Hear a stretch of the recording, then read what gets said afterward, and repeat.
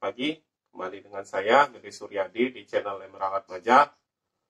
Pagi ini kita akan mengulas kembali salah satu koleksi dari gedung Pesemertona Surya Dharma Loka. Ya kita lihat di sini banyak koleksinya, tapi kita ulas satu-satu. Jadi tetap ikuti channel saya.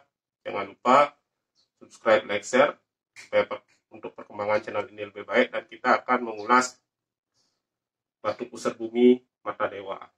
Mari kita ikuti.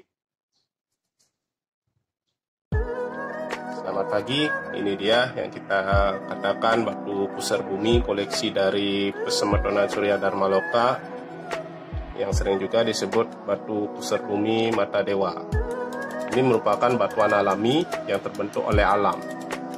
Jadi kemungkinan di sini adalah karena adanya arus air yang sehingga membentuk batu-batu dengan motif seperti ini.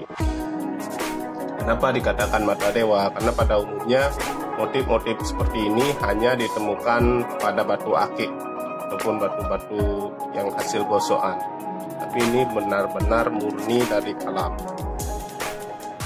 Pada umumnya bentuk-bentuk batu seperti ini disebut dengan biasanya disebut kalau dalam seni disebut dengan suiseki ya, karena memiliki bentuk atau keunikan yang lain dalam dunia spiritual. Batu ini memiliki fungsi sebagai perlindungan ataupun sebagai penjaga diri. Tapi ada juga yang percaya batu ini juga bagus dipakai untuk bisnis serta keberuntungan. Tapi di sini kita tidak mengulas itu, kita akan mengulas filosofi dan makna bentuk batu pusat bumi mata dewa ini. Seperti kita ketahui, pusar bumi mata dewa jadi secara tidak langsung merupakan simbolis memiliki makna. Mata dewa itu kita berarti memiliki pandangan ke depan berjiwa spiritual apa pun yang kita lakukan selalu memiliki pandangan yang berdekatan dengan Tuhan selalu berpaham dengan kebenaran.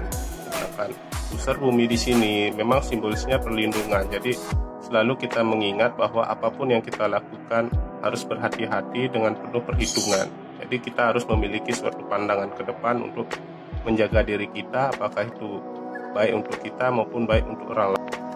Percayaan besar bumi memang dipercaya dari kalangan spiritualis itu sangat besar energinya untuk perlindungan dari energi-energi negatif maupun energi mistis yang beraliran hitam. Tetapi kita di sini lebih mempercayakan memang batu ini memiliki energi, tetapi ini merupakan energi alam karena proses pembentukan, proses bentuk atau motif seperti ini ya, merupakan proses dari alam, bukan dari hasil rekayasa.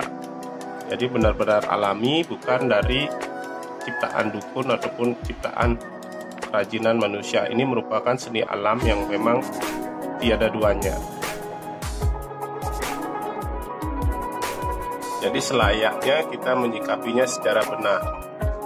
Jadi tanpa perlu harus ritual berlebih atau melakukan sesajen-sesajen berlebih. Tapi benar-benar apa pun yang diberikan oleh alam pasti memiliki energi yang alami. Jadi tanpa perlu ditambahkan yang lain-lain. Sekian dari saya, mari kita ulas yang lain dari pesemertonan Surya dan Maloka. Jadi untuk hari ini sekian dulu ulasan tentang batu pusar bumi mata dewa. Ya, sekian ulasan singkat dari saya dari Suryadi tentang batu pusar bumi mata dewa. Jadi ini adalah hasil alam. Jadi energinya energi alami dari alam.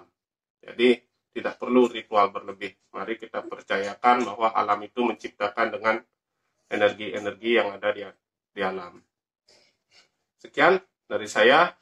Jangan lupa subscribe, like, share channel ini untuk perkembangan channel ini lebih baik. Om Santi Santi Santi Om.